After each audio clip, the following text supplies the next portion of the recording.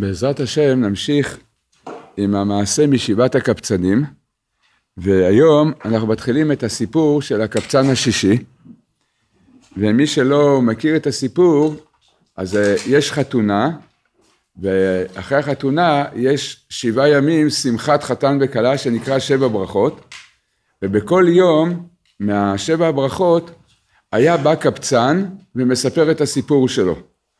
ובסך הכל יש שבעה קבצנים, אבל הסיפור של. אנחנו בסיפור של הקבצן השישי, והסיפור של הקבצן השביעי, כשנגיע אליו, אז, אה, אז רבנו כבר לא סיפר אותו. רבנו אמר שאת הסיפור הזה יספר לנו משיח צדקנו. כי אמר, עד כאן יכולתי לספר, את הסיפור האחרון אני כבר לא יכול לספר, כי זה כבר יותר מדי לגלות את הסודות ואת הדרך של הגאולה. אבל בכל אופן, כמה דברים נוכל לדבר על זה, מה שמובא בספרים. אבל היום אנחנו מתחילים את הסיפור של הקבצן השישי, והקבצן השישי נקרא הקבצן בלי הידיים. והיו מתגעגעים אליו וכוספים מאוד לראות אותו, ובתוך כך אמר הנני, הנה באתי אל השמחה שלכם, אל החתונה שלכם. וכמו שהזכרנו בעבר, שזה יסוד מאוד גדול כדי להמשיך את האור של הצדיקים האמיתיים, העיקר זה הרצונות והכיסופים.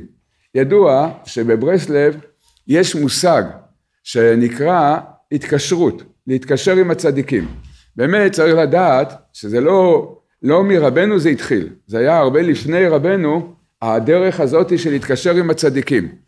אז הדרך עתיקה מאוד, אבל רבנו מאוד הכניס את הדרך הזאת, מאוד הוריד את זה שרואים שאצל אנשי רבנו מאוד נוהגים, נוהגים בדרך הזאת של התקשרות עם הצדיקים. יש נוסח שאומרים הרי אני מקשר את עצמי עם כל הצדיקים האמיתיים ובפרט עם רבנו הקדוש. ההתקשרות באמת זה דבר מאוד מאוד גדול, כל הנושא של ההתקשרות. מדוע? כי ברגע שאדם מתקשר בנפש עם מישהו אז יש חיבור, רבנו קורא לזה בתורה נ"ט נעשה מסילות בלבבם. מתחילה להיות השפעה הדדית. גם בחיים שלנו אנחנו יכולים לראות, פוגשים בן אדם שאנחנו מאוד אה, מחבבים אותו, ואחרי כמה, כמה זמן של היכרות נהיה קשר מאוד חזק ומשפיעים אחד על השני. זה כלל מאוד גדול, זה ההתקשרות, אפשר לראות שני חברים, אה, זוג, בעל ואישה, אה, הורים וילדים, אז הם מאוד משפיעים אחד על השני, ככה זה טבע העולם. רבנו מגלה לנו שההתקשרות עם הצדיק זה הדבר הכי חשוב, מדוע? כי הצדיק הוא, הלב שלו, הנשמה שלו כולה טוב, הוא רק רוצה את האמת, רוצה את הטוב, רוצה לתקן את המידות וכן הלאה, ברגע שאנחנו מקשרים את עצמנו עם הצדיק, מיד נעשה בחינה שנקראת מסילות בלבבם, ומהמסילות בלבבם נעשה, אנחנו מקבלים השפעה מאוד גדולה, לכן האדם מאוד יכול להשתנות לטובה מעצם ההתקשרות. יש כמה וכמה בחינות ודרכים בעניין של ההתקשרות. המעלה הגדולה ביותר בעניין ההתקשרות זה שאדם זוכה להרגיש אהבה לצדיק.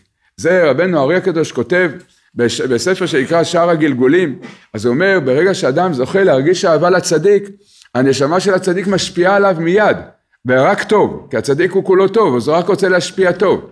לכן יש שיחה בשער הגלגולים, רבנו, רבנו ארי אומר לגדול התלמידים שלו, רבנו חיים ויטל, אומר ודע שכל מה שהשגת ועתיד אתה להשיג זה מחמת שאתה דבק בי באהבה.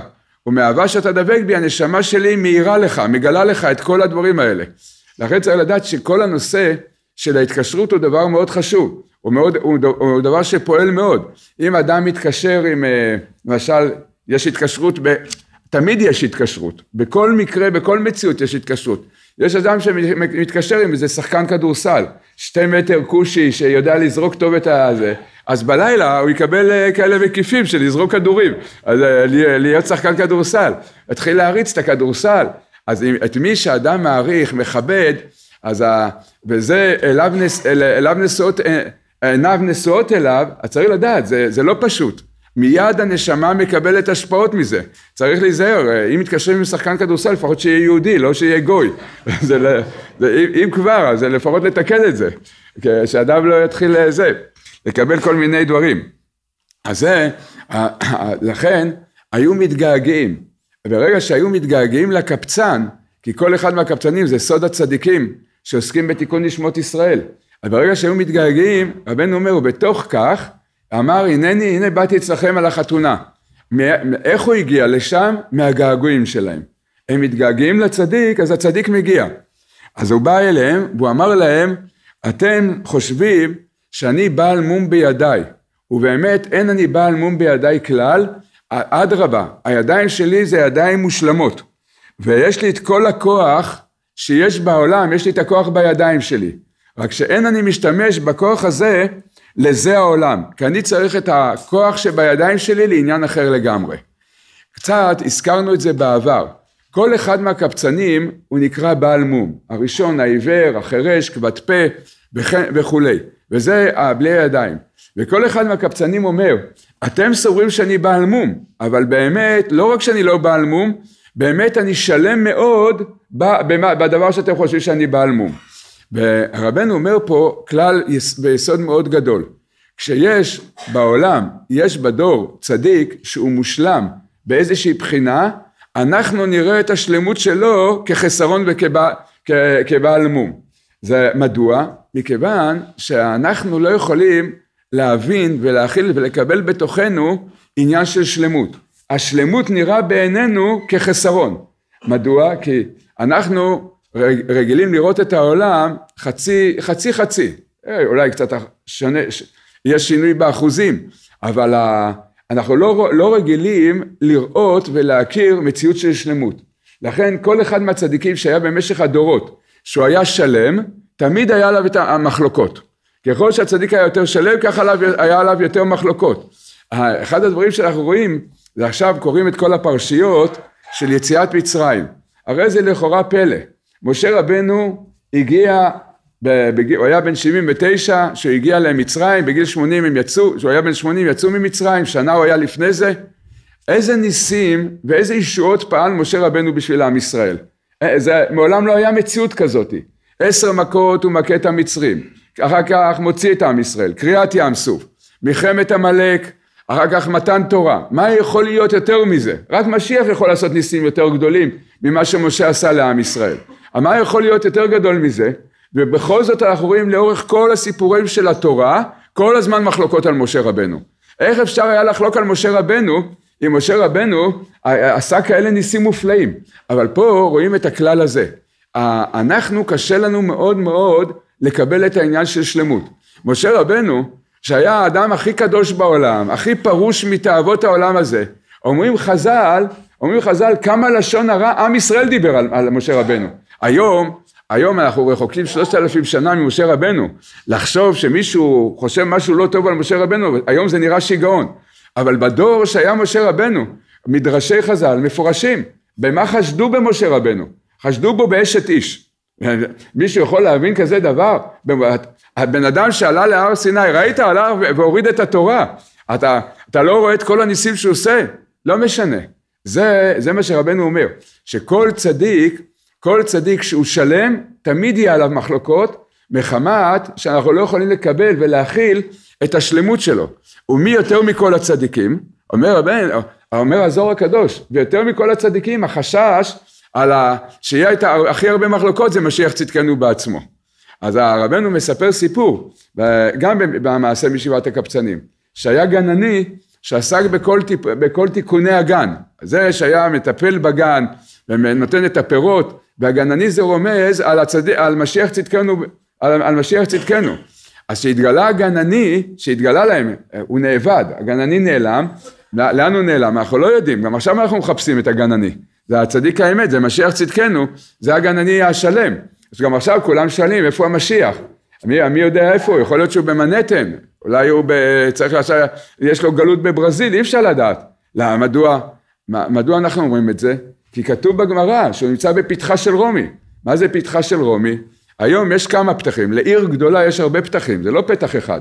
מנהטן זה פתח אחד של רומי, בתאילנד זה פתח שני של רומי, והודו זה עוד פתח. כל הפתחים האלה, אז כתוב בגמרא ששם נמצא, נמצא משיח צדקנו.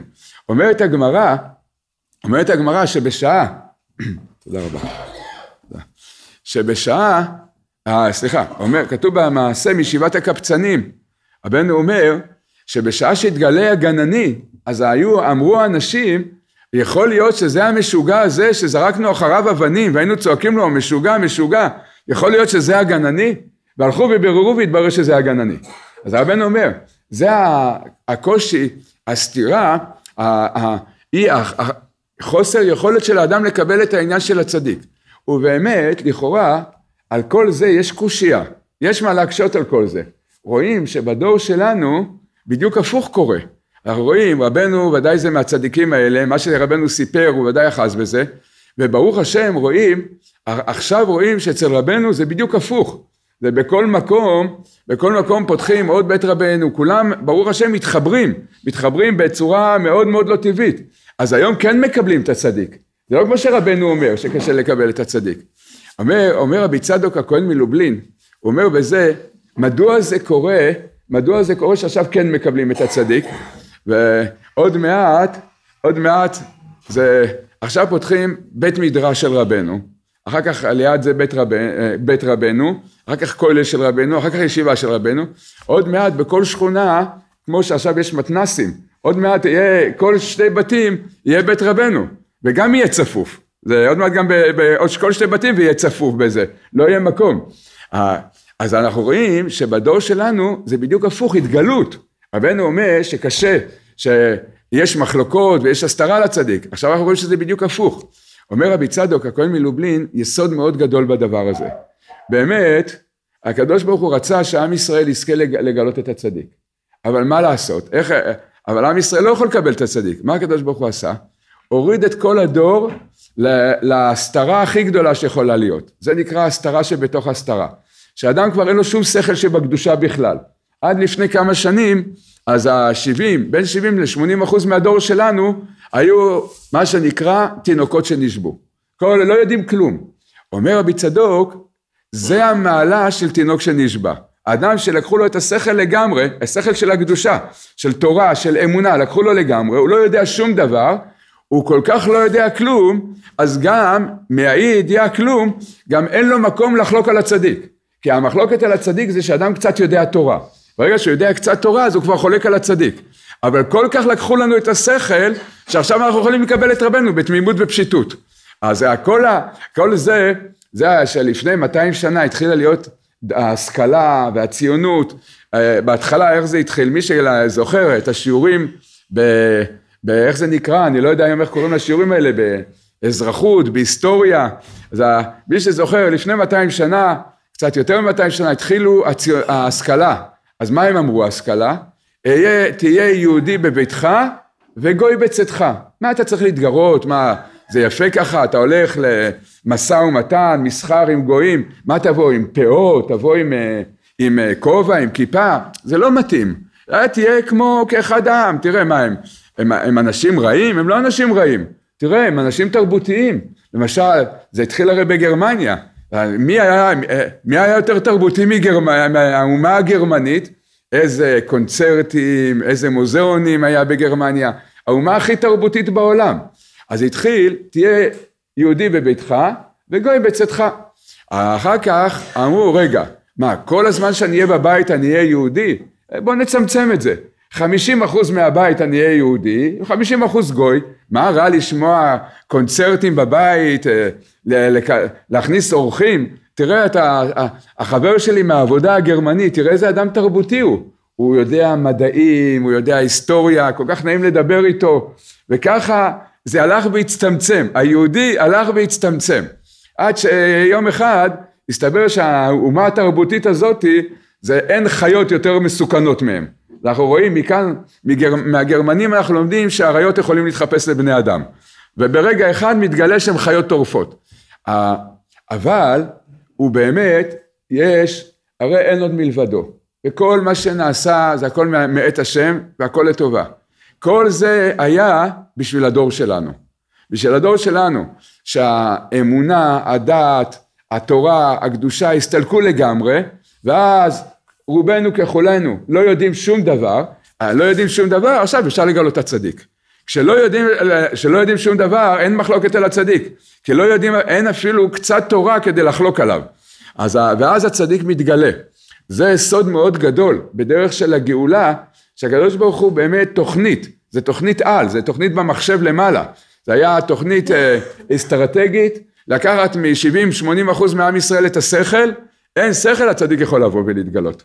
אז לכן היום, ברוך השם, רואים כזה התקרבות גדולה, שבכל מקום הצדיק מתגלה. ואז הקפצן השישי אומר, אומר, לה, אומר להם, אתם חושבים שאני בעל מום בידיי, ובאמת הידיים שלי הן שלמות מאוד בכוחם, רק שאין אני משתמש בכוח שבידיים שלי לזה עולם כלל וכלל. מה הכוונה? אמרנו שכל אחד, כל פרט בסיפורי מעשיות מרמז על דברים עמוקים וגבוהים.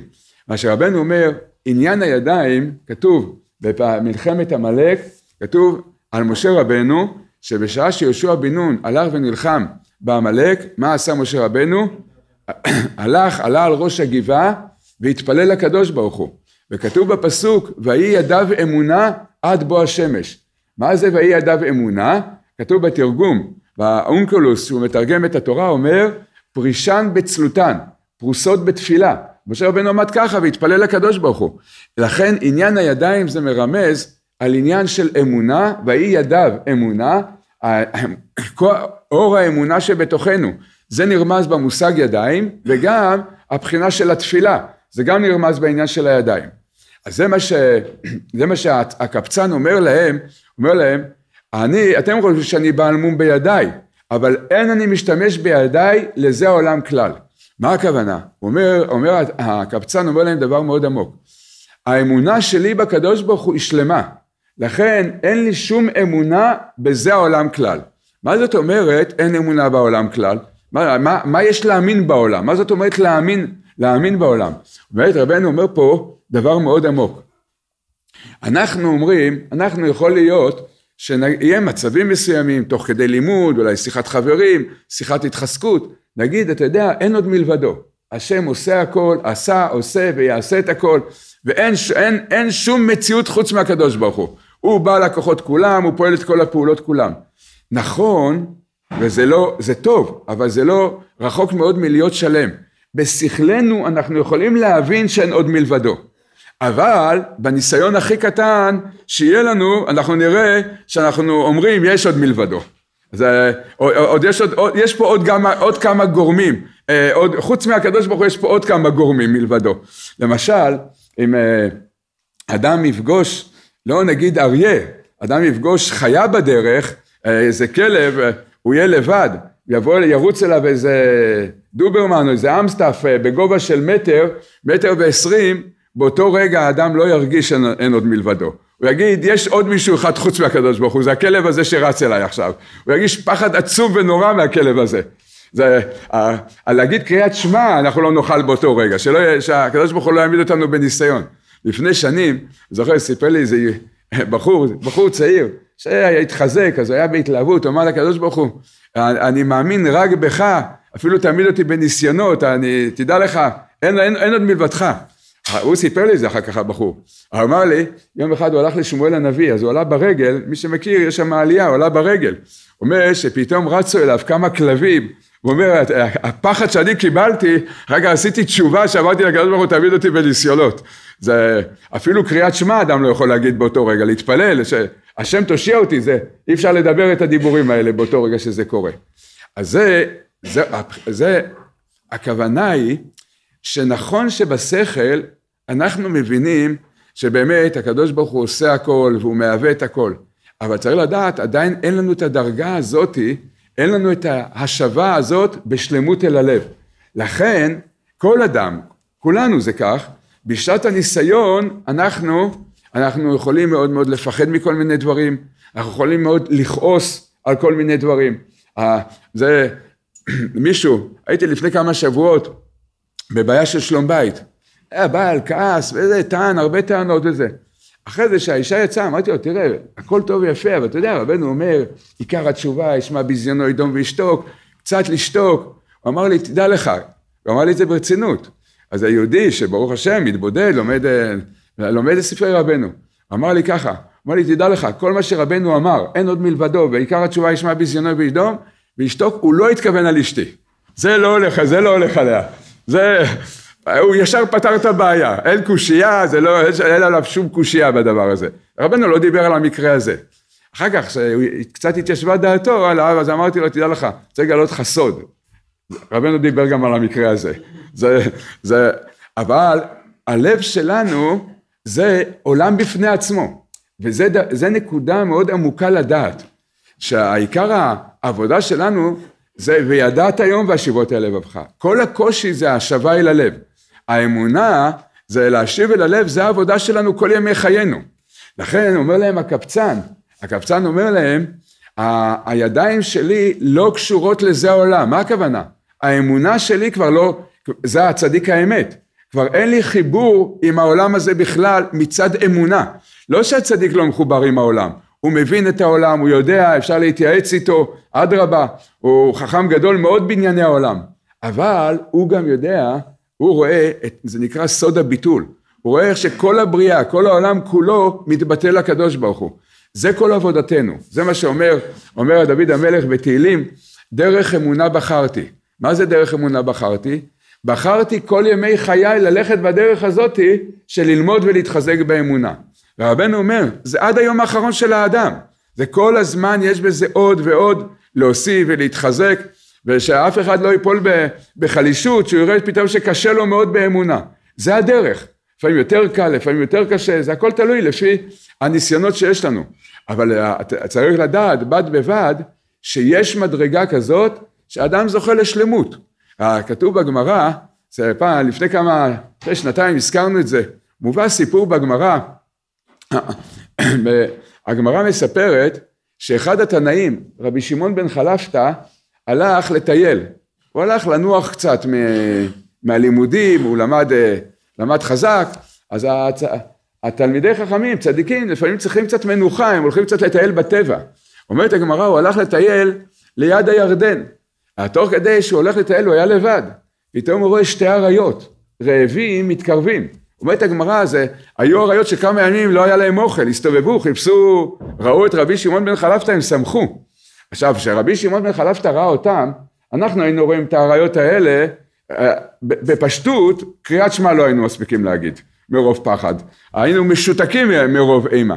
רבי שמעון בן חלפתא רואה את האריות הרעבים. מספרת הגמרא, היה לו קושייה גדולה מאוד. הוא היה לו קושייה גדולה לקדוש ברוך הוא.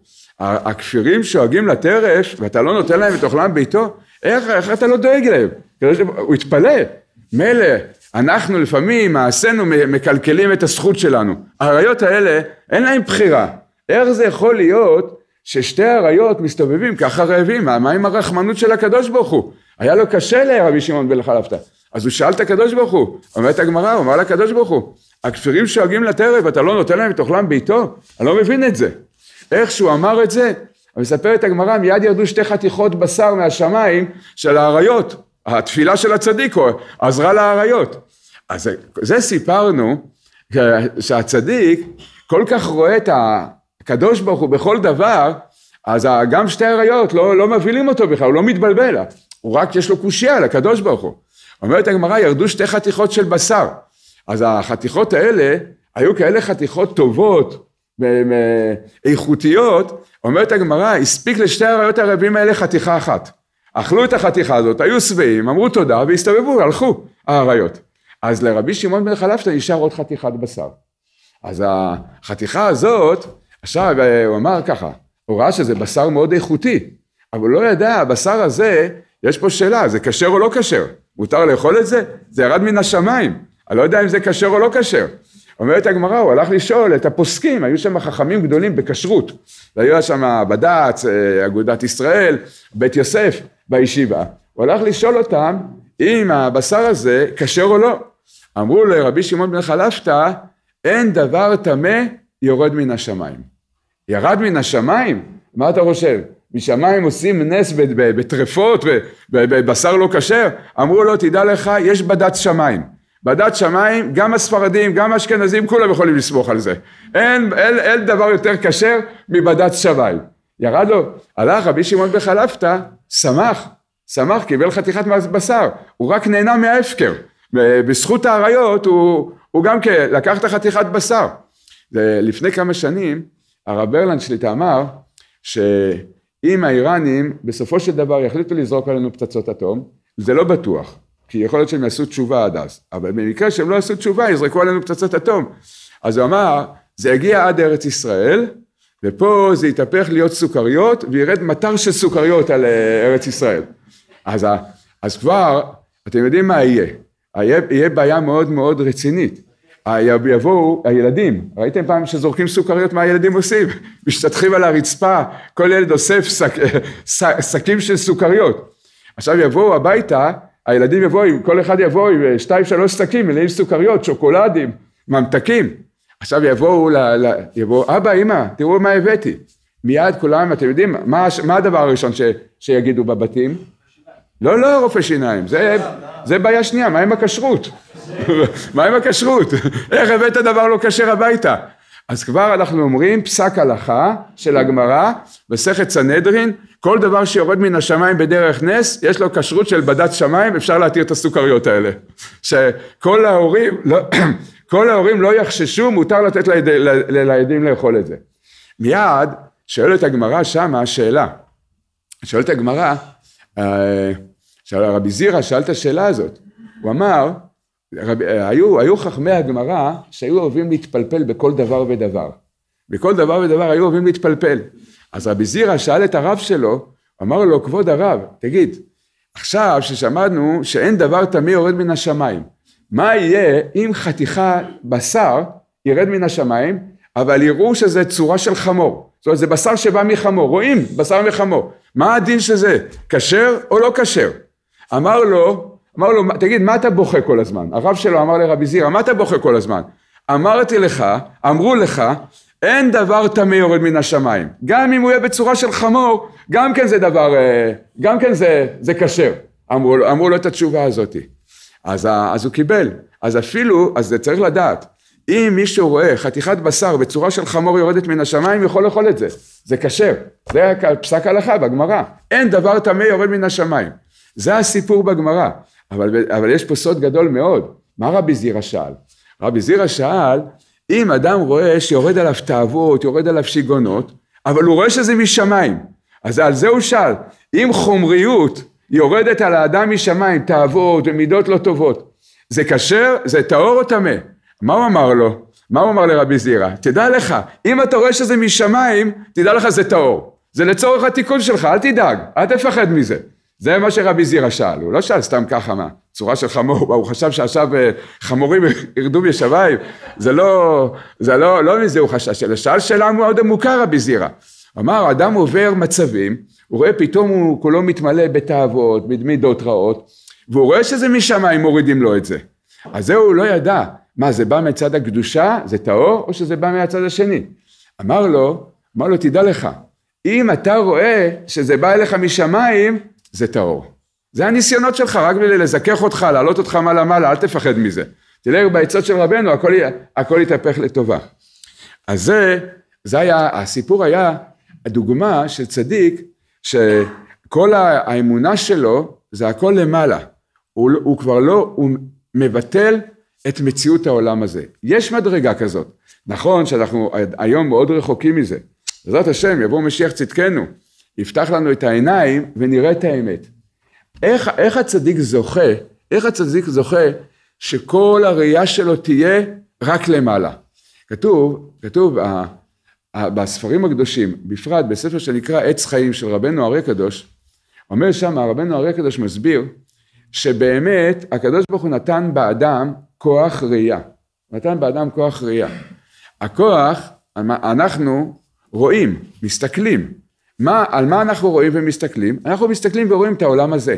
הנה יוצאים החוצה, רואים מכונית יפה, רואים שעון יפה, רואים מחשב יפה, רואים דברים יפים, או לפעמים דברים לא יפים, אבל אנחנו רואים את העולם הזה, אנחנו רואים את העולם הזה. אומר רבנו אריה הקדוש אומר, זה גם מובא בזוהר, אומר אבל יש עוד ראייה, יש ראייה שזה נקרא ראייה עליונה, לכן חכמי ישראל נקראים עיני העדה, הצדיקים זוכים לראייה העליונה, מהי הראייה העליונה? הראייה העליונה זה לראות את העולם הזה, אבל מיד לראות את הקדוש ברוך הוא בתוך העולם הזה. בכל דבר ודבר לראות את הקדוש ברוך הוא. כל העבודה שלנו זה להעלות את העיניים התחתונות, את הראייה התחתונה לראייה העליונה. ולהעלות את זה לראייה העליונה זה לראות את ההשגחה, את המלכות, את הפעולה, את הכוח של הקדוש ברוך הוא בכל דבר ודבר. זה נקרא סוד הראייה העליונה. הצדיקים, יש להם את הראייה העליונה. בפרט, כתוב, הזוהר הקדוש אומר, ובפרט מי זוכה לראייה העליונה? מי שלומד, מי שזוכה ללמוד, כמו שכל עם ישראל בקרוב, ממש בקרוב יזכה ללמוד את סודות התורה. ככל שאדם יודע, לומד יותר את סודות התורה, כך הוא לא זוכה לקבל את הראייה, את הראייה העליונה. לכן, שהזוהר הקדוש, כתוב בזוהר הקדוש, שאחד החכמים אומר לחכם שני, בוא נלמד ביחד, או בוא, בוא, בוא נתבונן באיזשהו נושא ביחד, איך הוא פונה אליו, בלשון הזוהר הקדוש, תא חזי, בוא תראה. תא חזי, לחזות, המחזה זה עניין של ראייה. בוא תראה, הכוונה, בוא תראה את הפנימיות, את האלוקות, את האמונה בכל דבר ודבר. אז זה נקרא סוד, סוד הראייה העליונה. קודם דיברנו על הגודל המעלה של ההתקשרות עם הצדיקים. כשאדם זוכה להתקשר עם הצדיקים, אומר רבנו, תורה ס"ז חלק שני, שהצדיק נותן לאדם את העיניים האלה. נותן לאדם לראות את הראייה היותר רוחנית. זה, זה, זה מתנה שאדם מקבל, כפי ההתקרבות שלו לצדיק. פתאום האדם מתחיל לראות את הפנימיות של העולם שלנו, לראות, לראות את, ה, את האלוקות, את הקדוש ברוך הוא בכל דבר ודבר. לכן הגמרא אומרת על רבי שמעון בר יוחאי, היה רואה בכל מיני, מיני מצבים, אנשים מתנהגים בצורה מסוימת, לכאורה בפשט הדברים הגמרא אומרת היה מקפיד. מה, איך, איך זה כתוב בגמרא שהיה מקפיד? נתן עיניו בו ועשאו לגל של עצמות. אז חושבים שרבי שמעון בר יוחאי היה בראייה שלו הורג אנשים, אבל לא זה הכוונה. היה רואה בן אדם מתנהג לא בסדר, מה, אז מה כתוב בגמרא? נתן עיניו בו, את העיניים שלו נתן לו, נתן בתוכו שגם הוא יראה את הראייה שהאדם, שהצדיק נותן לו את העיניים, שהאדם יזכה גם כן לראות מה שהצדיק רואה. ואז עשאו לגל של עצמות. מה זה גל של עצמות? גל זה לשון גילוי, עצמות זה עצמות, זה הפנימיות. אז כל מי שרבי שמעון בר יוחאי היה נותן עיניו בו, היה עושה לגל של עצמות, הפך אותו גם כן, פתח לו את הגילוי הזה, את הראייה הזאת, לראות את העצמות ואת הפנימיות שבכל דבר ודבר. אז זה מקבלים, את הראייה הזאת אנחנו מקבלים, מקבלים את זה מהצדיק.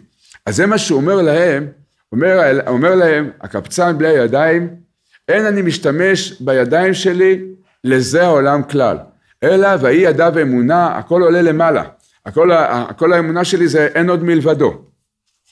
והוא אמר להם, ועכשיו אני אספר לכם מעשה, שמתוך המעשה הזה אתם, תראה, זה תהיה ראייה והוכחה עד כמה הידיים שלי זה באמת בשלמות. הכוונה עד כמה שהאמונה שלי זה בשלמות, וכן הלאה. ואז הוא אומר, הוא מתחיל לספר להם מעשה מהמבצר של מים. ככה נקרא המעשה, מעשה ממבצר של מים. כי פעם אחת ישבנו כמה אנשים ביחד, ורבנו מתכוון, המשמעות של הדבר, צדיקים, וכל אחד התפאר בכוח שיש לו בידיים. כל אחד התפאר. במה באמת הייתה התפארות? באמונה. כל אחד התפאר באמונה שלו. וכל אחד התפאר איזה כוח, מה הוא יכול לפעול עם הקדושה, עם, ה, עם התורה ועם האמונה שלו. ואחד אמר כך, אני, יש לי כזה כוח, כשאני יורה חץ, הכוונה אני זורק חץ, חץ, אני יכול להחזיר את, הח, את החץ בחזרה אחרי שיריתי אותו. כזה כוח יש לו בידיים שיכול להחזיר את, ה, שיכול להחזיר את החץ בחזרה.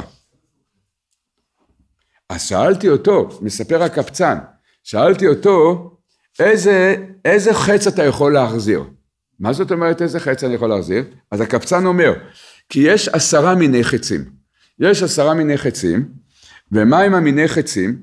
באמת, מסביר, החץ הוא אחד, והכוונה זה סוג אחד של חץ, אין הרבה סוגים, זה חץ אחד, אבל יש עשרה מיני סמים, הכוונה כל מיני דברים מאוד מאוד לא טובים, זה נקרא רעלים, שאפשר למשוך את החץ אפשר למשוך את, בראש החץ, מושכים אותו ברעל, ואז יש עשרה מיני סמים כאלה.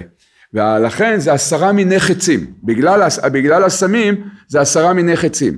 שאלתי אותו, שאלתי אותו, אותו אחד שאמר שהוא יכול לזרוק את החץ ולהחזיר אותו, שאלתי אותו שתי שאלות. שאלתי אותו, האם גם אחרי שהחץ פוגע כבר במישהו, גם אז אתה יכול להחזיר אותו בחזרה? הוא אמר לו כן, גם אם זה פגע אני יכול להחזיר אותו בחזרה. אחר כך שאלתי אותו, וכמה, מתוך העשרה מיני חצים, כמה מיני חצים אתה יכול להחזיר בחזרה? אז הוא אמר לו, אחד, רק אחד אני יכול להחזיר. אז אומר, כל זה מספר הקפצן. אמרתי לו, אם כך, אין אתה יכול להציל ולהושיע ולרפות את הבת מלכה. אם אתה רק חץ אחד יכול להחזיר, אתה לא יכול להושיע את הבת מלכה. לאחר מכן, מספר שאחד היה מתפאר בהתפארות אחרת שיש לו בידיים. שאצל מי שהוא לוקח, הוא נותן. דהיינו, שזה בעצמו, שנותנים לאותו אחד, נותנים לו משהו, נותנים לו כסף, עוזרים לו במשהו, נותנים, עושים לו איזה נתינה לאותו אדם, על ידי שנותנים לו, בזה עצמו מקבלים פי אלף אלפים ממה שנותנים לו. אז זה הכוח שלו בידיים. זאת אומרת שיש לו כוח שהוא מקבל צדקה, הוא נותן פי אלפים מהצדקה שנותנים לו. כוח בידיים של לתת. שאלתי אותו, מספר הקפצן, שאלתי את אותו אחד, יש עשרה מיני צדקות. איזה מין של צדקה אתה מקבל ואתה יכול לתת? אז אמר לו מין אחד של צדקה.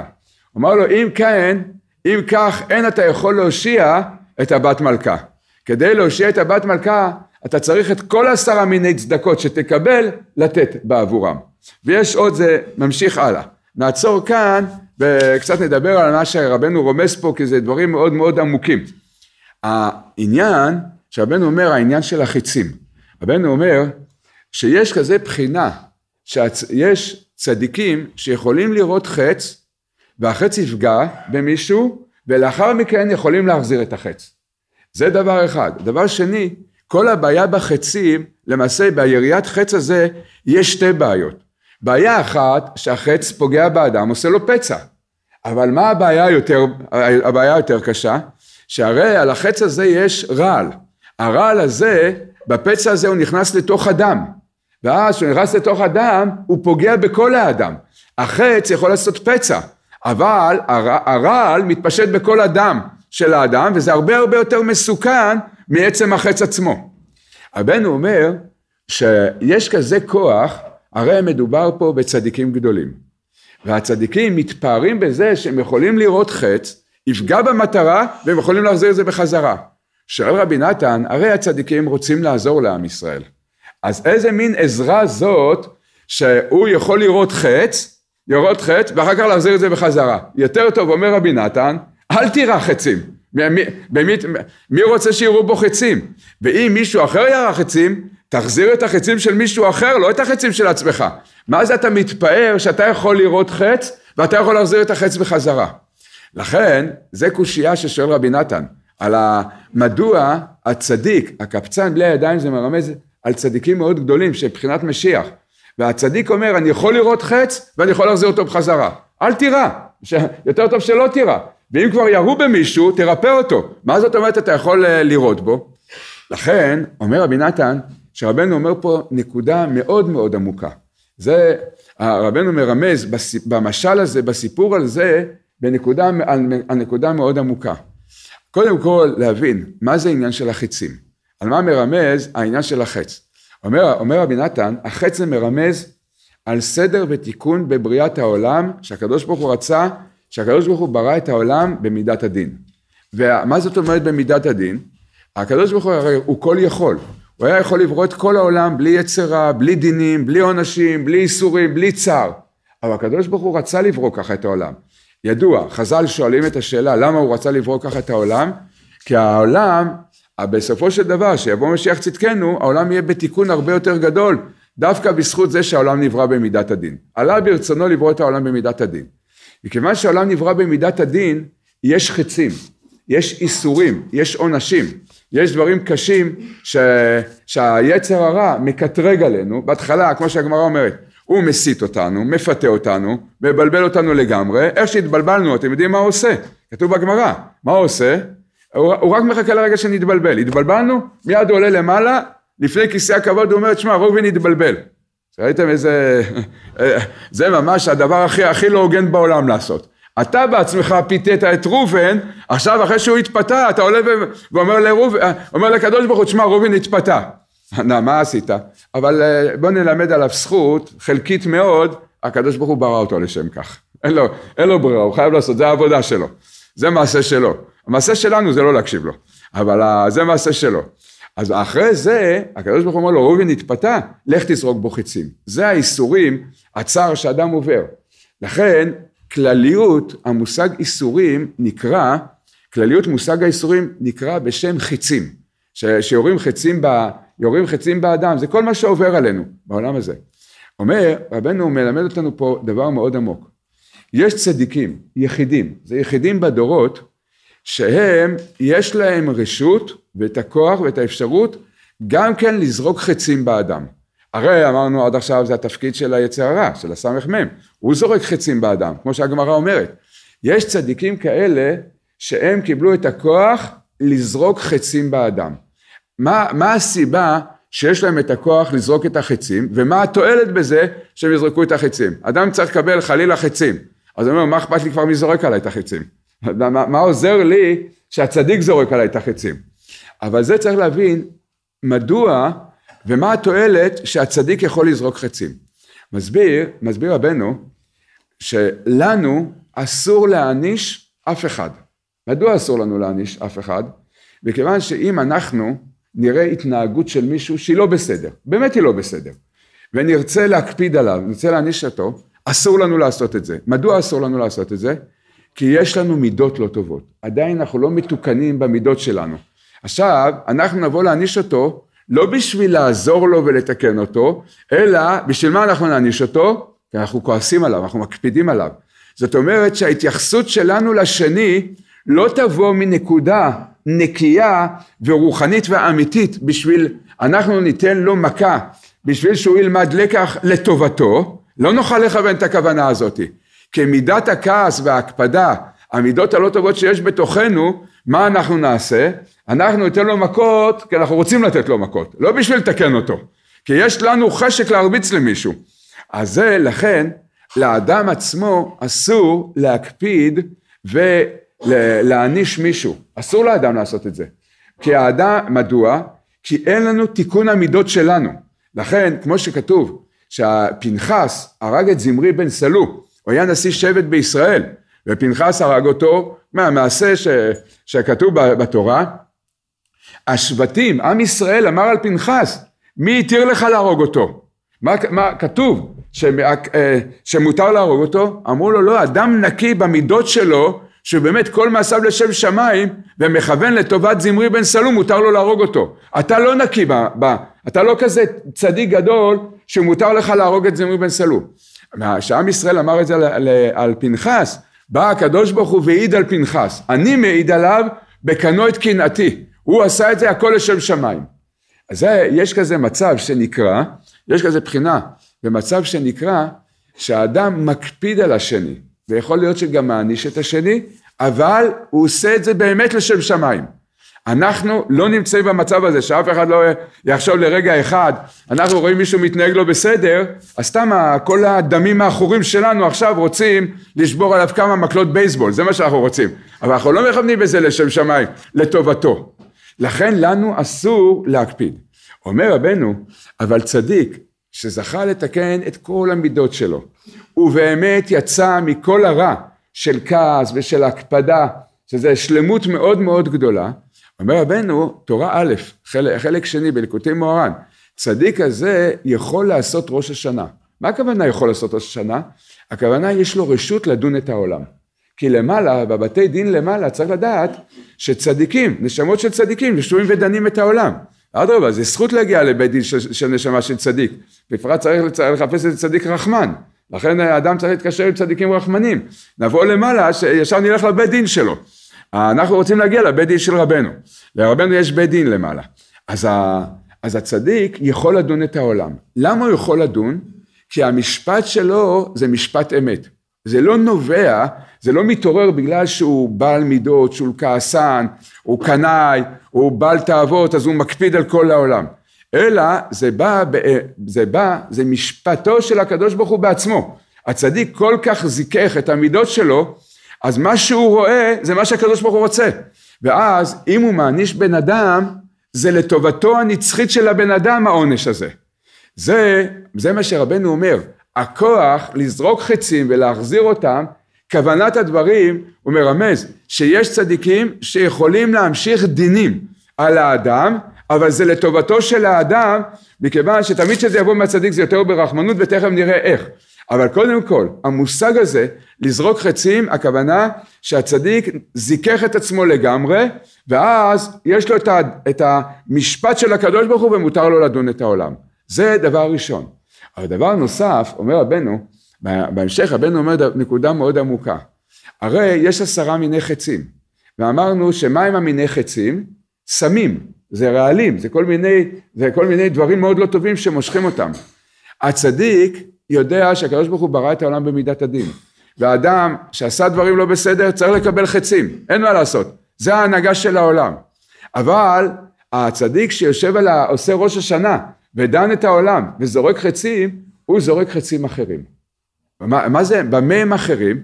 אומר רבנו, החץ זה אותו חץ, אבל במקום למשוך אותו בסמים שהם רעלים, הוא מושך אותו בתרופות.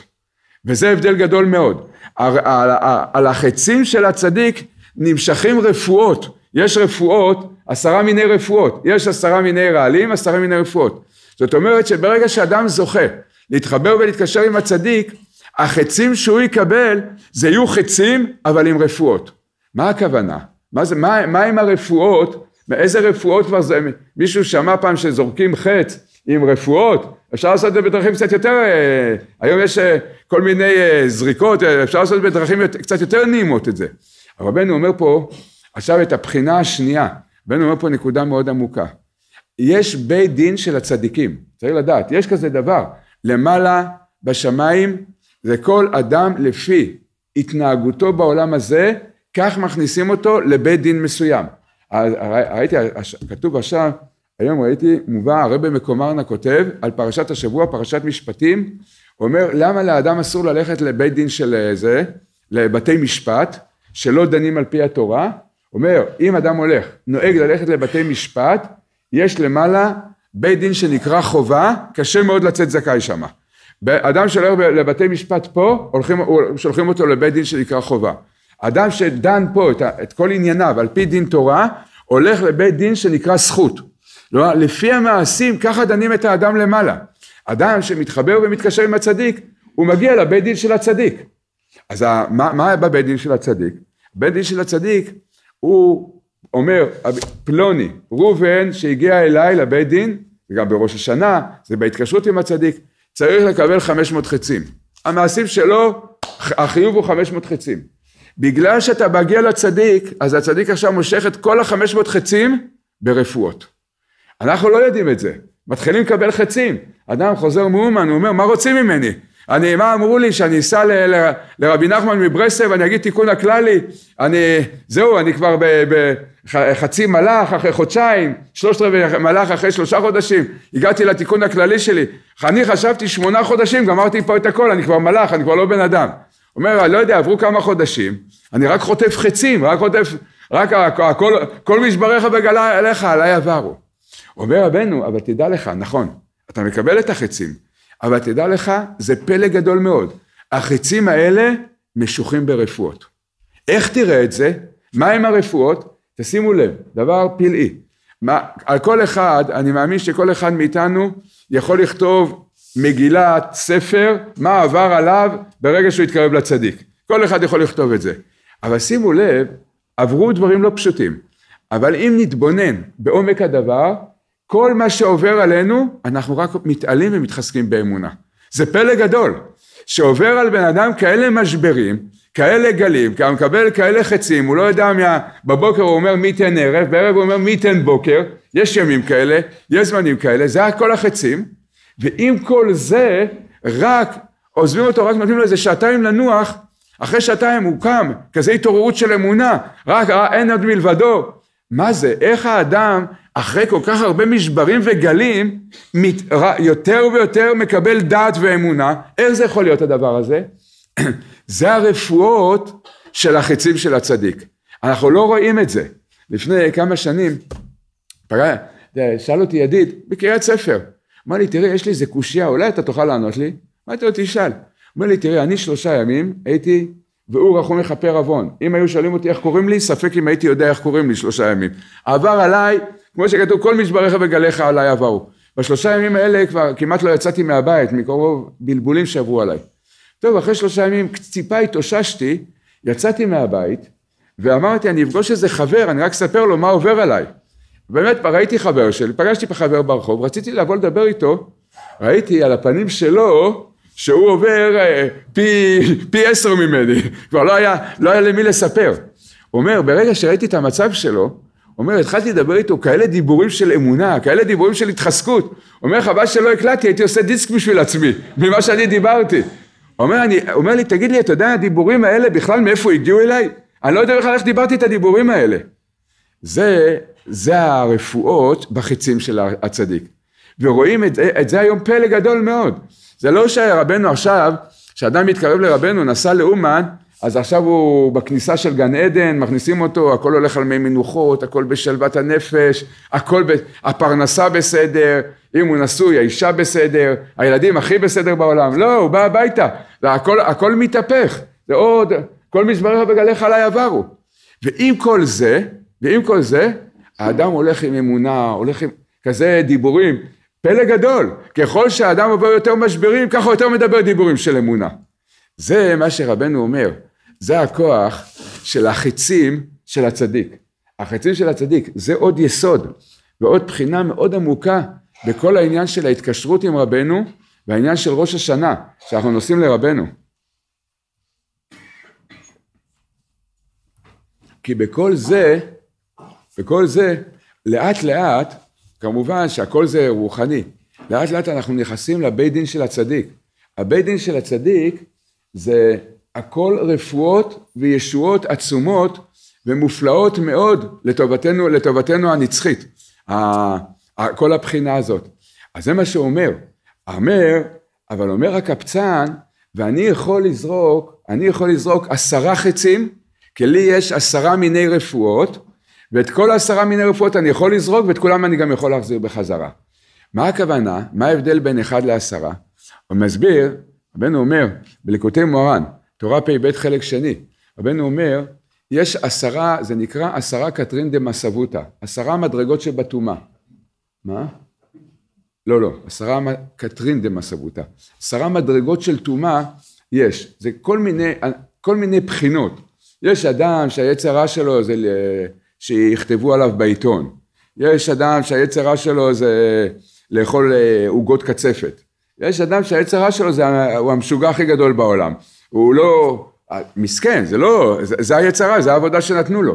לכן, הוא מסביר שם רבנו, זה לשון של הזוהר הקדוש. יש הרבה מיני, הרבה מיני יצר רע בעולם, אבל הם מחולקים בכלליות לעשרה בחינות.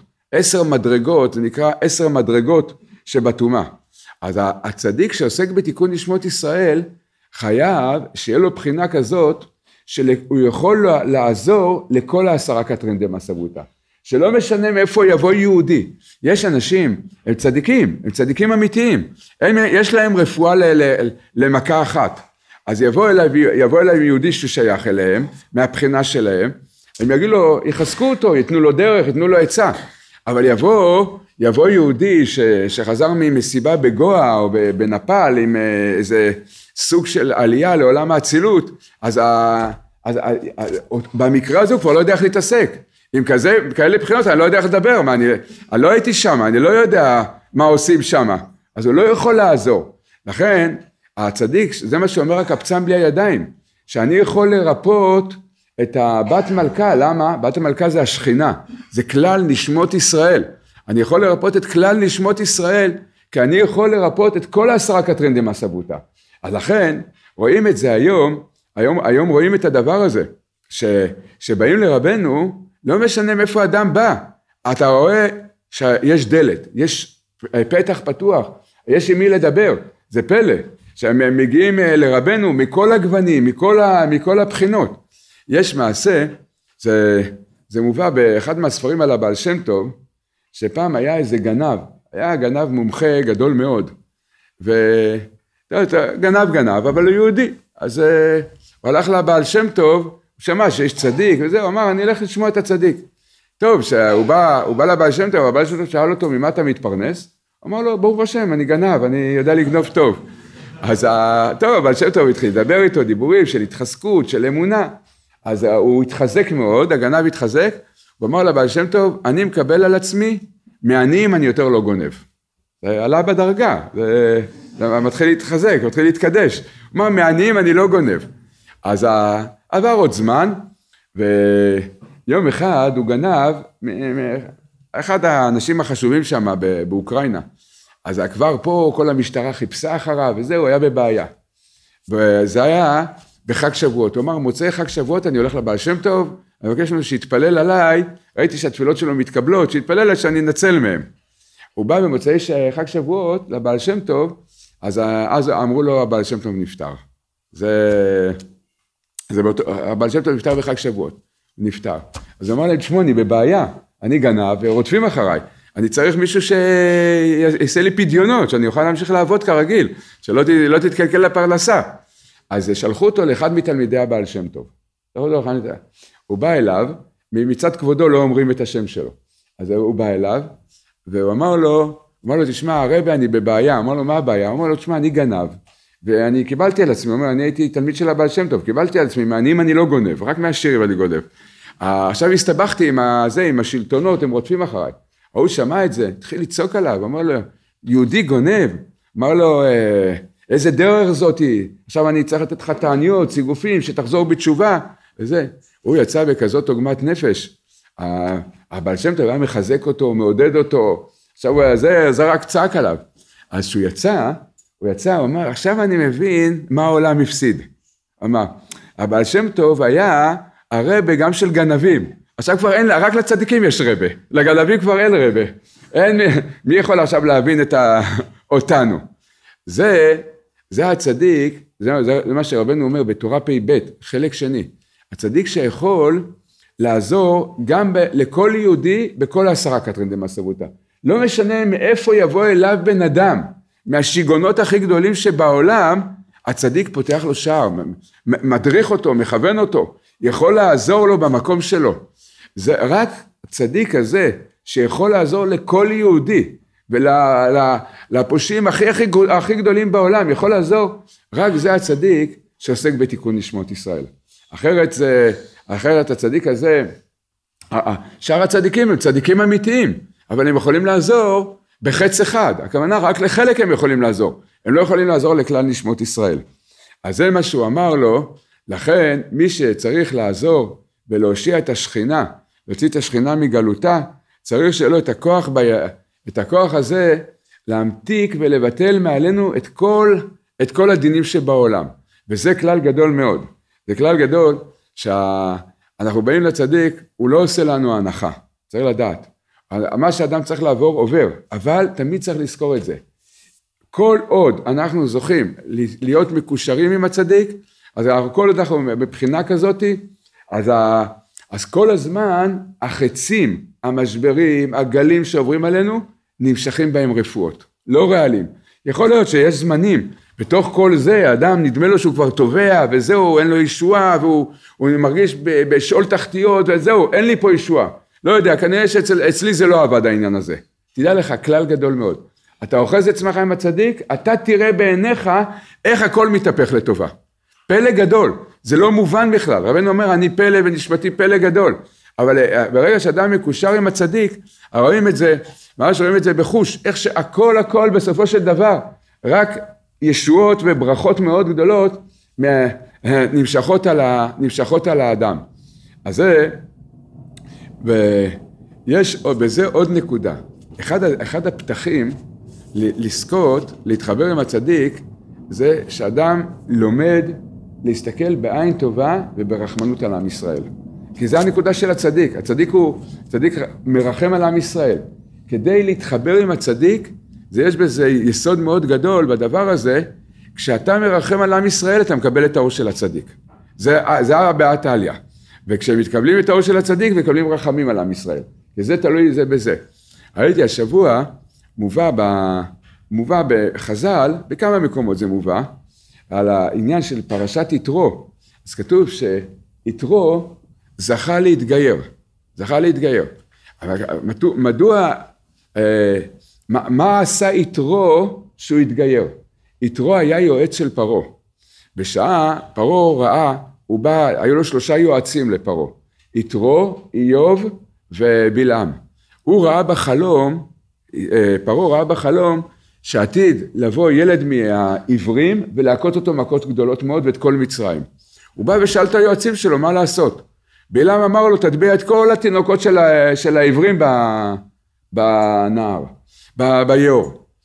איוב שתק.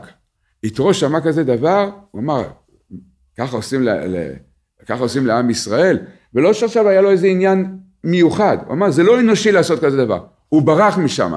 מיד שיתרו ברח ממדי, ממצרים והגיע למדיין, קרה לו עוד דבר אחד, הוא כפר בעבודה זרה, הוא היה גדול עובדי עבודה זרה שהיו בכל הדורות, הזוהר הקדוש אומר, לא היה חכם כמותו בכל החומות של עבודה זרה.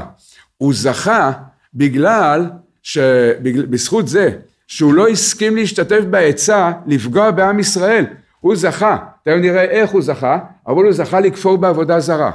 כשהוא זכה לכפור בעבודה זרה, שימו לב איך הקדוש ברוך הוא, מה עושה הקדוש ברוך הוא? מי מגיע אליו הביתה? משה רבנו. ונהיה החתן שלו. הוא זכה להיות, הוא זכה, הצדיק הכי גדול בעולם זכה להיות החתן שלו. כל זה, מאיפה זה התחיל? מאותה נקודה שברגע שאמרו, גזרו על ישראל גזרה להשמיד, להרוג, לאבד בתוך היאור את כל התינוקות, הוא לא יכל לקבל את זה יתרו, לא יכל לקבל, זה לא אנושי לעשות כזה דבר. עזב, ברגע שהוא עזב, את, אה, ברח ממצרים, מיד הוא זכה לכפור בעבודה זרה ולקבל את החתן הכי גדול בעולם. משה רבנו, איזה זכות. ובאמת, מיתרו יש משפחות, כתוב הרבה בספרים הקדושים, משפחות מאוד מאוד חשובות בעם ישראל. זה, זה נקרא משפחת הקיני, בני יתרו, יונדב בן רחב, זה כתוב שהיו צדיקים, והצדיקים גדולים מאוד בעם ישראל, הצאצאים של יתרו. אז זה, זה יתרו זכה בזכות הנקודה הזאת, כי הוא לא יכל לקבל שיזרקו את הילדים של היהודים, לא מוכן לקבל גזרות על עם ישראל. האדם מתפלל שיהיה לטובת עם ישראל, שיהיו רחמים, שיתבטלו הגזרות הקשות מעל עם ישראל, צריך לדעת על ידי זה יזכה לקבל את האור של הצדיק. מי שיעשה כל יום שעה התבודדות על עם ישראל, יכול להיות שמשיח בן דוד יבוא אליו הביתה, ירצה להתחתן עם הבת שלו. אם אין לך עוד בנות, אולי עם מישהי מהמשפחה שלך, אבל זה, זה מה שרואים. המושיע של עם ישראל הגיע, ל, הגיע למדיין. אבל יש פה שאלה, מישהו שאל אותי לפני כמה ימים, תלמיד חכם, אמר לי, תגיד, אבל יתרו הרי לא היה חכם יותר גדול ממנו בעבודה זרה שבעולם. היום אנחנו אומרים איזה חוכמה יכולה להיות בעבודה זרה? מה לעשות פסל והשתחוות לו? צריך להבין, לדעת שהחוכמה של יתרו בעבודה זרה אנחנו לא יודעים את זה היום אבל הוא ידע להשתמש בכוחות רוחניים וטבעיים שהקדוש ברוך הוא נתן בבריאה וכל זה בדרך, בדרכים מסוימות הוא יודע איך להמשיך השפעות מכוחות רוחניים זה, זה כוחות שהקדוש ברוך הוא בעצמו נתן בבריאה רק שהקדוש ברוך הוא לא מרשה להשתמש בכוחות האלה על כל פנים לא בדרכים שלהם, זה מרבה טומאה בעולם, אבל כל זה אה, יתרו ידע ולא היה גדול כמוהו בכל העולם בחוכמות האלה. והיום אם היה הידע של יתרו היה נוחת לעולם היום אז כל המדענים היו מתבטלים אליו, היו רואים איזה, איזה כל, המ, כל המדע זה כמו משחק ילדים לחוכמות של, של יתרו.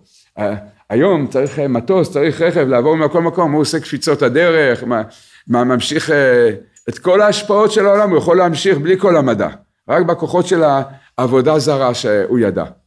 אז היה כל כך גדול יתרו בדבר הזה, אומר הזוהר הקדוש, לא היה גדול ממנו כמוהו בעולם. אז אם הוא היה כל כך גדול, איך הוא כפר בכל זה ודבק בקדוש ברוך הוא? שואלים את השאלה הזאת. שאל אותי מישהו, בהשגחה פרטית ראינו, רבנו הארי הקדוש שואל בשאר הפסוקים, פרשת שמות הוא שואל את השאלה הזאת, איך יתרו זכה להתגייר? יש בזה חידוש גדול מאוד בדבר הזה. יתרו היה כל הנשמות הן מצד קין והבל. הקין זה יותר הגבורות, הבל זה יותר החסדים, כל נשמות ישראל הן מבחינת קין והבל. היום אנחנו לא יודעים את זה, אבל כל הנשמות מהבחינות האלה. אומר רבנו הרי הקדוש, יתרו היה שורש מאוד מאוד גבוה בצד של קין. כשהוא היה עובד עבודה זרה, הוא לקח את החלק הרע של קין. לכן הוא היה חכם גדול מאוד בעבודה זרה, מצד שהוא היה נשמה מאוד גבוהה, אבל הלך אל צד הרע.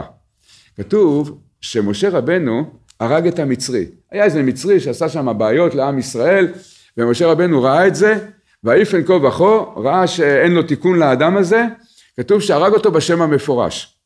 הרג אותו בשם המפורש, אומר רבנו הרי קדוש, מי זה היה המצרי הזה? המצרי הזה היה גם כן החלק הרע של קין, כמו יתרו, היה החלק הרע של קין. אבל יותר נמוך מיתרו, אבל גם כן היה הבחינה של ההכרה. ש... אבל היה לו ניצוץ קדוש אחד מצד קין, במצרי. משה רבנו בשעה שהרג את המצרי, עשה עליו כוונות של השחיטה. מה עושים בשחיטה? הורגים את הבהמה ומעלים את הניצוץ הקדוש שבתוכה. העלה את הניצוץ הקדוש שהיה בתוך המצרי, תיקן אותו. תיקן אותו, העלה אותו מהמצרי. את המצרי טמן בחול, ואת הניצוץ הקדוש שהעלה. אחרי שהעלה את הניצוץ הקדוש, הניצוץ הקדוש חיפש בן אדם להתעבר בו. מצא מינית מינו. הוא מצד קין הלך, ל... הלך ליתרו, התעבר ביתרו, וזה גרם ליתרו לכפור בכל העבודה זרה. ואז, ואז אה, הוא חזר בתשובה, יתרו. רואים מכאן, רואים פה איזה יסוד מאוד גדול. גם יתרו לא ידע, פתאום יתרו קם בבוקר, הוא מתחיל לחשוב על הקדוש ברוך הוא, מתחיל לכפור בעבודה זרה. הוא לא יודע מאיפה זה נמשך אליו, הבחינה הזאת שהוא כופר בעבודה זרה. מאיפה זה נמשך? ממשה רבנו. אומר, אומר הבעל שם טוב, וגם רבנו המשיך את זה אחר כך, כל ההרהורי תשובה בא מהצדיק. כל מה שאדם, כל, כל אחד מאיתנו צריך לדעת, כל מה שזכינו להתחזק בתשובה, זה היה מאיזה תפילה, מאיזה תיקון שהצדיק עשה. מהתיקון שהוא עשה, נמשכים אל כל יהודי הרהורי תשובה. לכן, לכן, זה ההכרת הטוב שיש לנו לצדיקים, שהם מוסרים את הנפש, כמו משה רבנו. הוא הרג את המצרי, הושיע את יתרו. בהריגת המצרי הייתה ישועה של יתרו. מה הוא זכה, יתרו, שכל הדורות שלו ילכו בדרך השם ויהיו צדיקים גדולים. מאיפה הכל התחיל? מה היה הניצוץ הראשון? ממשה רבנו. לכן אומר, כבר אמר, אמר הבעל שם טוב, ורבנו אחר כך אמר, שכל ערעור מחשבה, כל ניצוץ של קדושה שיש בנו, צריך לדעת, זה מהעבודה של הצדיקים. יהי רצון שהקדוש ברוך הוא יזכה אותנו, שהצדיקים יתעברו בנו ויהיו בנו. יש 15 שניות, אנחנו רוצים לבקש משהו, 15 שניות. יש, אה, יש בחוץ, כמו שהוא אמר, אה, ערכות של דיסקים, זה כל ערכה עולה 100 שקל, ואפשר לקחת כמה ביחד, זה עניין גדול מאוד, העניין של ההפצה. גם, גם יש, גם הבאנו היום ספרים שהם קשורים לחודש אדר ולפורים. כל ספר עולה 30 שקל, ומי שרוצה לקחת עשרה ספרים להפצה זה 20 שקל כל ספר. אפשר גם כן לקחת כמה ביחד. אנחנו רק רוצים אה, להגיד על העניין של ההפצה, אני רוצה קצת לדבר קצת, להגיד את הנקודה של ההפצה. ראינו ממש, אה, ראינו את זה ב, ב, בנגלה. כל מי שעוסק בהפצה ועזר בהפצה, רוצה להגיד את זה, ממש ראיתי את זה, אמרתי אני חייב להגיד את הדבר הזה, בחודשים האחרונים, זה גם קודם היה, אבל בחודשים האחרונים ראינו את זה ממש ב, מאוד בגילוי, האדם זכה, ליש, כל אחד שעסק בזה זכה ממש לישועות גדולות מאוד. זה אחד הדברים, אחד המצוות הגדולות ביותר שיש לנו היום בדור שלנו, זה לעסוק בהפצה. אנחנו לא יודעים, אנחנו לא יודעים עד היכן הדברים מגיעים. אדם נותן ספר, אדם נותן דיסק, איזה, עד כמה זה יכול, עד כמה זה יכול להושיע, וברוך השם זה, זה פועל, זה מושיע. לכן ראינו ממש בחוש, כל מי שזכה בחודשים האחרונים לעסוק בהפצה, פשוט אני אמרתי אני חייב להגיד את זה, ראו ישועות מעל הטבע, בכל דבר שאדם צריך, ממש דברים מופלאים מאוד. לכן כל מי שעכשיו, ברוך השם, תודה לשם, אבל כל המהלך הוא בדחקות גדולה מאוד, אנחנו אומרים תודה לקדוש ברוך הוא, אם זה ככה זה, זה מה שצריך להיות וזה הכי טוב, אבל מי שיכול, אז צריך לדעת, מי שלוקח עכשיו דיסקים וספרים, צריך לדעת, הוא גם עוזר מאוד מאוד לכל המהלך של ההפצה. תבוא על כולם הברכה.